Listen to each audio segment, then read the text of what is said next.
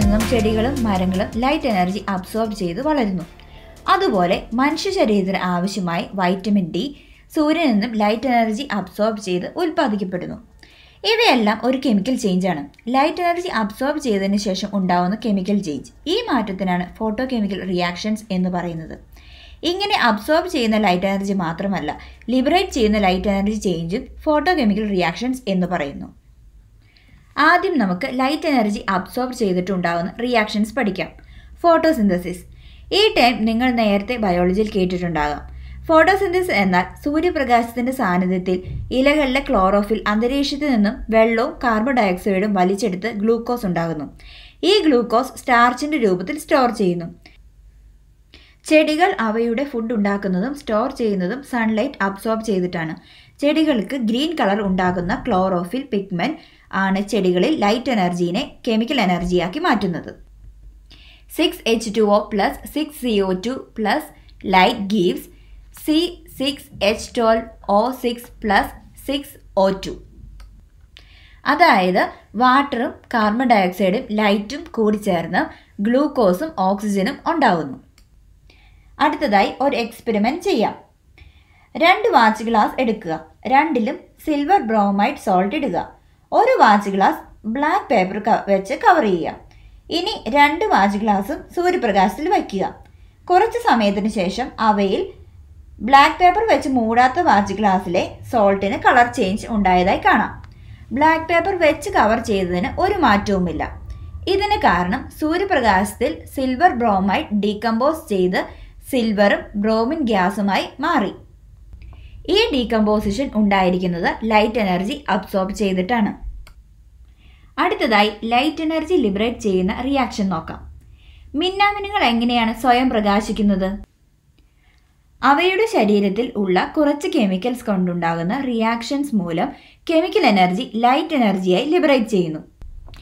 Luciferin plus oxygen gives oxyluciferin in the presence of luciferase. Luciferase എന്നത് മിന്നാമിനുങ്ങിന്റെ ശരീരത്തിലുള്ള എൻസൈമാണ്. ഈ ഫിനോമിനാണ് ബയോ ലൂമിനിസൻസ് എന്ന് പറയുന്നത്.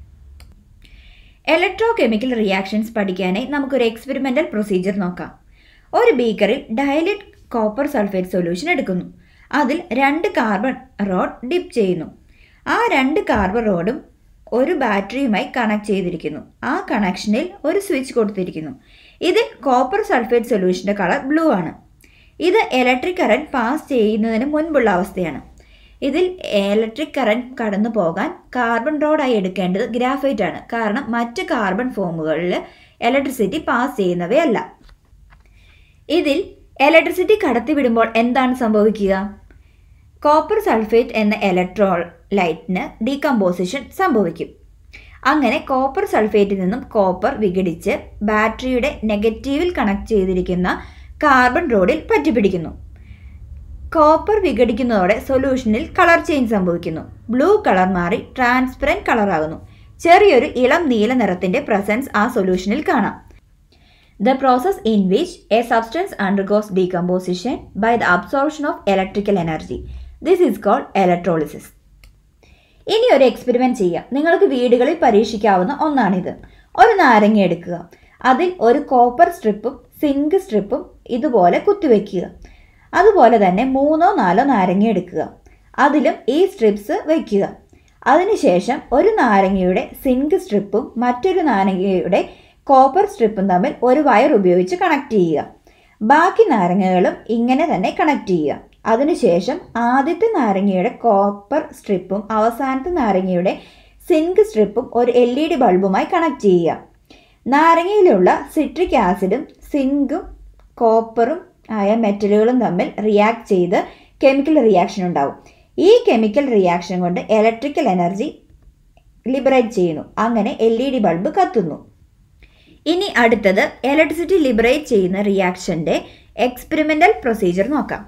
ഒരു ബീക്കറിൽ സിങ്ക് റോഡും കോപ്പർ റോഡും ഡയലൂട്ട് സൾഫ്യൂരിക് ആസിഡിൽ മുക്കി വയ്ക്കുന്നു ഈ സിങ്ക് റോഡും കോപ്പർ റോഡും ഒരു എൽ ഇ ഡി ബൾബുമായി കണക്ട് ചെയ്തിരിക്കുന്നു.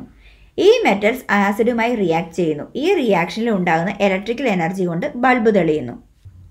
The arrangements which produce electricity as a result of chemical reaction this is called electrochemical cells ഈ എക്സ്പെരിമെന്റ് അപ്പാരറ്റസും ബാറ്ററി മേഡപ്പ് ഓഫ് ലെമൺസും ഇലക്ട്രോ കെമിക്കൽ സെൽസ് ആണ്. ഈ വീഡിയോ നിങ്ങൾക്ക് ഉപകാരപ്പെട്ടു എന്ന് തോന്നുകയാണെങ്കിൽ ദയവായി ലൈക്ക് ചെയ്യുക ഷെയർ ചെയ്യുക സബ്സ്ക്രൈബ് ചെയ്യുക. നിങ്ങളുടെ വില കൂടിയ നിർദ്ദേശങ്ങളും അഭിപ്രായങ്ങളും സംശയങ്ങളും കമന്റ് ചെയ്യുക. താങ്ക്